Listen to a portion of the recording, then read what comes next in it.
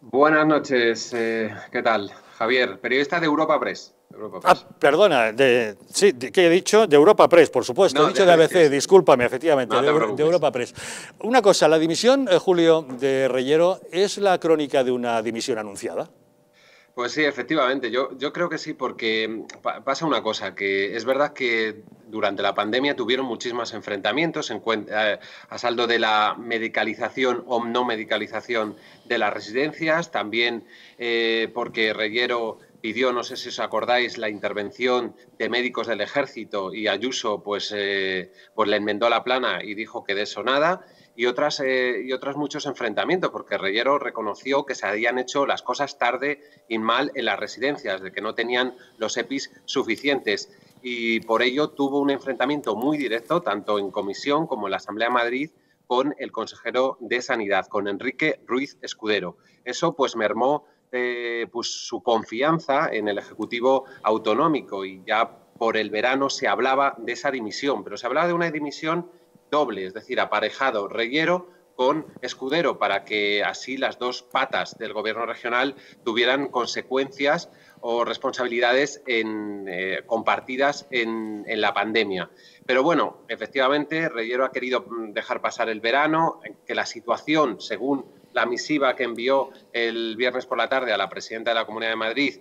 que la situación de las residencias estuvieran más o menos controladas, como, eh, se ha dicho, que pasara el debate del Estado de la región, sus comparecencias en la Asamblea en comisión y entonces en esa decisión, entre comillas, meditada, eh, presentara su dimisión, aunque todo el mundo sabe que la llevaba pendiente desde hace mucho tiempo y que el momento elegido a dos horas de que entraran en vigor eh, las nuevas medidas restrictivas que tantos enfrentamientos eh, han provocado entre el Gobierno de España y el Gobierno regional, pues no era el mejor momento precisamente para, para, esta, para esta dimisión, para este cese. Pero da la impresión, Julio, de que justamente Reyero ha buscado ese momento, quizás en un afán de hacer un poquito más de ruido, para que, quedara un poco como que él no estaba de acuerdo con la postura de Isabel Díaz Ayuso frente a estas normas, ¿no?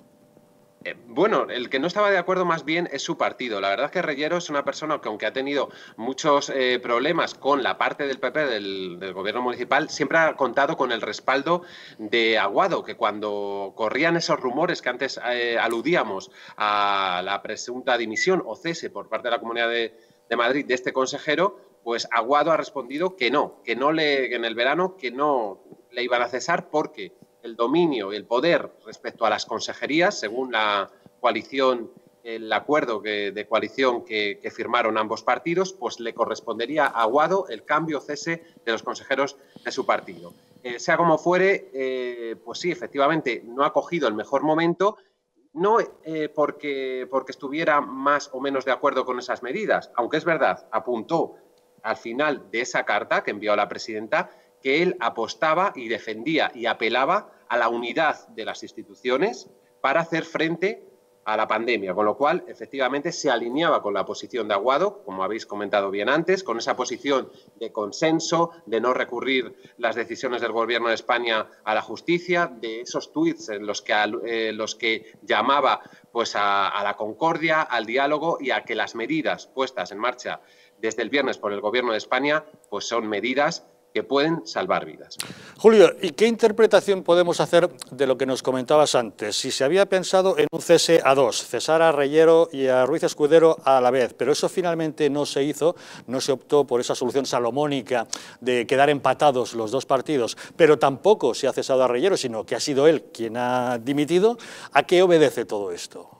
No sé, yo, creo que la interpretación es que al final ha ganado en esta partida desigual, ha ganado el consejero Escudero, que la verdad que nadie nos queríamos en el verano ese intercambio de fichas de dimisiones. ¿Por qué? Porque ha consolidado eh, su posición, está todos los días en los medios de comunicación junto al consejero de Justicia e Interior, que ha ganado eh, pues también muchísimos apoyos. Eh, estos dos consejeros son los fundamentales, las, las patas en las que se apoya el gobierno eh, Ayuso eh, actualmente y por tanto pues nadie sospechaba que Escudero cayera, cayera también. y todos eh, sí que advertíamos que podía hacerlo después de harto de que nadie le hiciera caso, harto de todo lo que ha pasado, pues que cayera efectivamente el consejero de, políticas sociales. Por lo tanto, mi conclusión es que en esa partida pues está ganando, está ganando el PP, está ganando el consejero de Sanidad, pero efectivamente también está intentando replicar Ciudadanos en su enésima crisis de gobierno, eh, teniendo en cuenta que solo llevan eh, poco más de, de, 13 meses en el poder la coalición entre el PP y Ciudadanos. A ver, Alberto, y ahora una pregunta difícil, no sé si tendrás respuesta para ella. En ese pulso que mantuvieron Alberto Reyero e Isabel Díaz Ayuso a costa de la gestión de las residencias, ¿quién era el bueno y quién era el malo? ¿El bueno era él que acusaba de inacción ante las residencias a Isabel Díaz Ayuso o era ella que le acusaba a él de ser el malo por filtrar instrucciones que no estaban definitivamente firmadas? Pues no sé el papel, supongo que para unos es verdad que hablando con diputados, y ahí tenéis uno en la mesa, una diputada del Partido Popular, eh, te van a decir que efectivamente que el malo era Reyero porque no era leal al partido, porque hablaba más en la, en la,